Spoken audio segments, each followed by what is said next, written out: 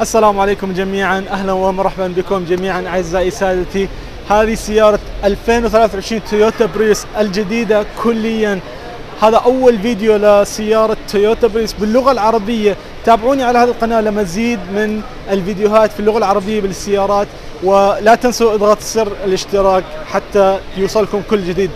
بس طلعوا على التصميم. التصميم أول شيء حقيقة شيء روعة روعة روعة.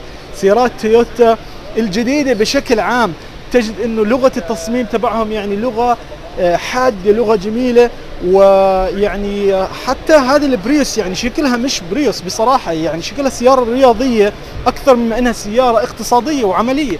فهذا الشيء شيء كثير جذاب وشيء كثير كثير ممتاز. فأنا بدي أحكي لكم شوي عن التصميم وعن الماتور وعن القوة وعن الاقتصاد تبع هذه السيارة. فخلينا يعني لا تنسوا الاشتراك و ابقوا معنا حتى تشوفوا السيارة كما وعدتكم. أول نظرة للسيارة تويوتا بريوس.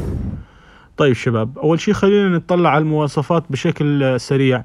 هذه السيارة أوطى من الموديل السابق وشكلها رياضي أكثر وطبعا أعرض وعجالها أكبر وحتى ال wheelbase يعني المسافة بين العجال الأمامية والخلفية جاي مسافة أطول. فكل هذه الأمور بتأدي إلى يعني القيادة تبعتها هي أمتن. فعلا بتحس إنه سواقتها كأنها سيارة أكبر مش كأنها سيارة صغيرة. فهذا إشي كثير كثير مهم.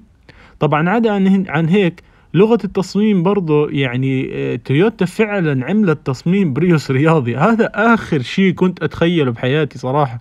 وأنا لا يعني عشاني ما كنت أتخيل هيك ظلمت الشركة. لأنه فعلا هذا تصميم جميل جميل جدا.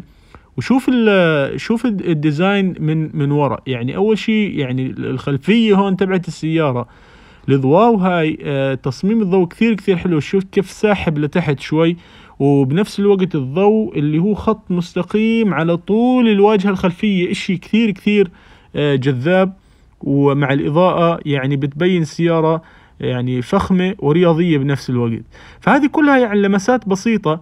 ولكن فعلا عملت فرق بين السماء والأرض. يعني اللي كان ما يحب البريوس يعني لمسات شوف حتى الإيد الباب بتفتح على الجنب مثل السيارة تويوتا سي إتش آر برضو لمسات يعني بسيطة وتدقيق على على الشغلات البسيطة بشكل كبير كبير من شركة تويوتا قمة الاحترام لهم فعلا هيك اللي بده يصمم سيارة يصممها بهذا الشكل. أخيرا تويوتا بريوس ما عادت سيارة مملة ما عادت حتى إنها ما عادت سيارة بطيئة لأنه صراحة الموديل السابق كان بيعاني من نقص القوة ومن نقص الطاقة.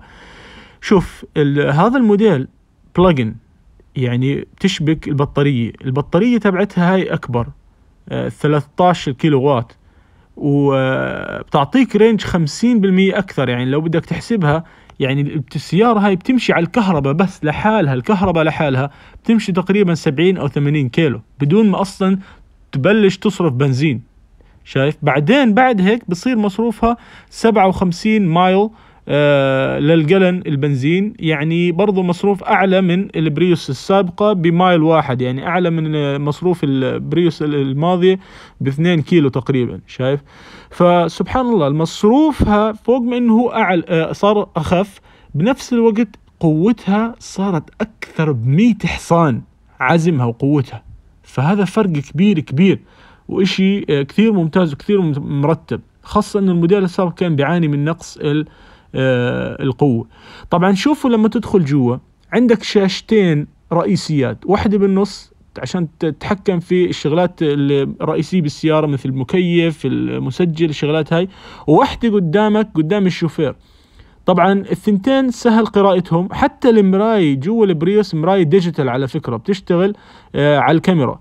وعندك السقف بانوراما شيء كثير كثير آه فخم والجوده من الداخل ومن الخارج ارتفعت بشكل عام في جميع موديلات سيارات آه، تويوتا. ولكن هذه أنا بعدها من أهم السيارات التي تم تصنيعها في هذا العام لأنها حقيقة هذا هو المستقبل. المستقبل السيارات القريب هو بنظري مش كهرباء كامل هو hybrid و plug-in hybrid برضو أحسن وأحسن. يعني سيارة مثل هيك على تنك بنزين واحد بتمشيك تقريبا 1200 كيلو. 1000 ل 1200 كيلو هذا إشي مش بسيط. وبنفس الوقت تنكها صغير. يعني مصروفها كثير كثير ممتاز وبنفس الوقت لو كانت مشاويرك بسيطة في المدينة مش أصلا ممكن ما تضطر أصلا إنك تعبي بنزين لأنه راح تقضيها على الكهرباء. وقولوا لي شو رأيكم في السيارة؟ يعني يا شباب إذا عجبتكم هذه السيارة اضغط لايك ولا تنسوا الاشتراك حتى يصلك كل جديد في أخبار السيارات الجديدة كليا مثل هذه السيارة وغيرها. وللمرة القادمة والسلام عليكم ورحمة الله.